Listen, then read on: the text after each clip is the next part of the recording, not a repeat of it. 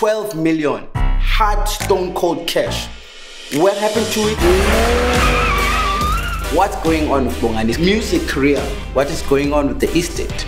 No one knows the truth except me, and you are going to find out from the horse's mouth everything about the Fassie family. Don't forget Utinghamba Nobani, Finding Bongani every Saturday at half past 8 on channel 157. And you know, Zizoboya. For sure.